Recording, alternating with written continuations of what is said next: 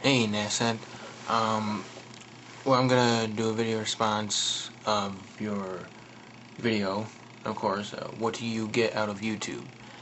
Um, well, my answer is I get friends, pretty much, and subscribers, obviously, and comments that I like. Sometimes I dislike, but I just laugh at them. But, um, See, that's pretty much it. But the thing that I got out of YouTube, like the whole community, is a girlfriend. I met I met uh, Cynthia. She's from Texas, but she well, I met her like a month later when I first got the account of YouTube, and then we became boyfriend girlfriend like in September or August or August September.